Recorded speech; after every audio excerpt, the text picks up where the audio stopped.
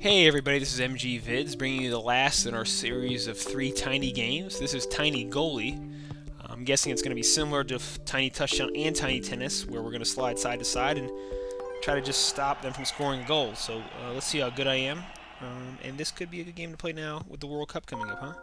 It actually might be uh, easier than Tiny Touchdown or Tiny Tennis because the goal is significantly smaller. I mean, you remember in Tiny Touchdown, they're just running like they'll start turning on you halfway through, or they'll fake out and throw the water bottle at you, right? I'm not falling for that power up. Oh, there we go. Now, maybe it's harder to dodge water bottles in this one just because the net is so small, right? But just slaying it here. It's definitely not a, probably a U.S. goalie. See, oh, Lord. Pretty good.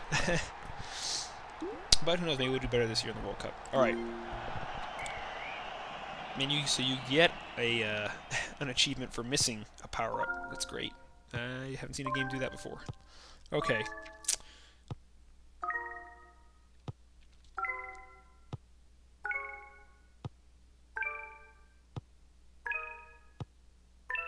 You see, this feels like it's a lot easier, especially than Tiny Tennis, but my score was uh, a lot higher in that game. I don't know why. Maybe just tennis syncs with me, huh?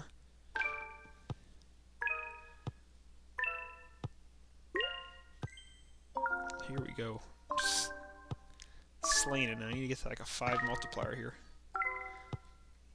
To really start putting a big score together. Oh, here we go.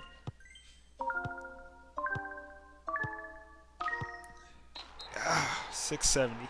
Let a ball slip through. Okay. Hey, so this is that's Tiny Goalie for you. The last in that series of three tiny games, all sports related and pretty simple to play. Slide back and back and forth by sliding your finger on the screen, and uh, try to earn some medals. I didn't here. I've earned one in Tiny Tennis by scoring you know more than a thousand points. So. Uh, maybe that's your goal, huh? But this is MG Vids, just bringing you the Tiny series, finishing up here with Tiny Goalie, uh, and enjoy some free, all free for download, 8-bit uh, graphic sport games. Take care.